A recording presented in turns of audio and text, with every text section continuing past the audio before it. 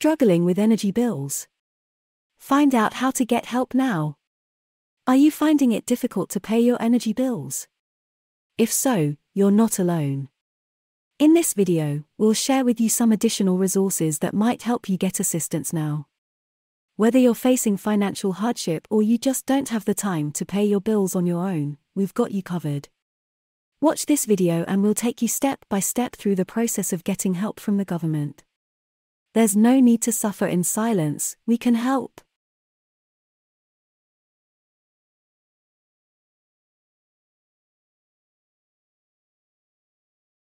Before we start the video, if you are new to the channel, please subscribe our channel for upcoming updates by UK governments and other very interesting content on various topics.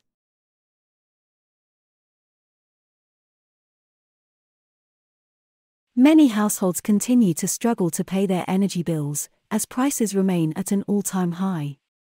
Announcing the spring budget last week, the Chancellor Jeremy Hunt said the financial help for energy bills will be extended for a further three months from April to June at its current level, capping the typical annual household bill at £2,500.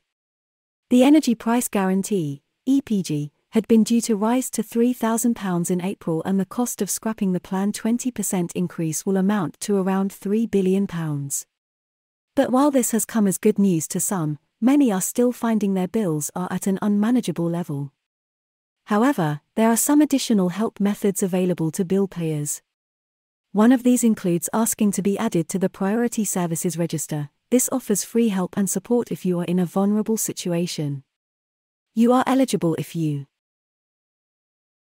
have reached your state pension age, are disabled or have a long term medical condition, are recovering from an injury, have a hearing or sight condition, have a mental health condition, are pregnant or have young children, have extra communication needs, such as if you don't speak or read English well, need to use medical equipment that requires a power supply, have poor or no sense of smell, would struggle to answer the door or get help in an emergency.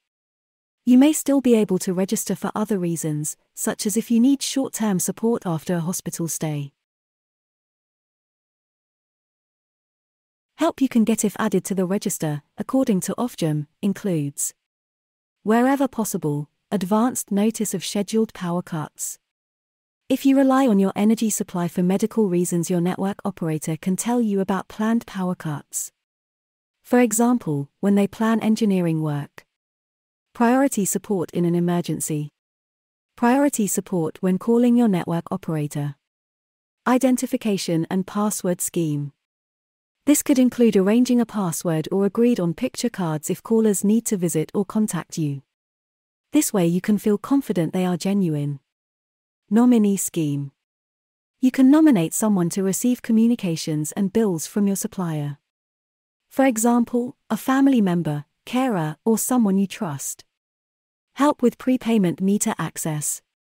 For example, moving a meter if you can't safely get to it to top up. Regular meter reading services. For example, if nobody can read your meter. Accessible information. For example, account info and bills in large print or braille. Help reconnecting your gas supply, if you need it. How to register. Energy suppliers and network operators will both keep a priority services register, so you should contact these if you think you should be added.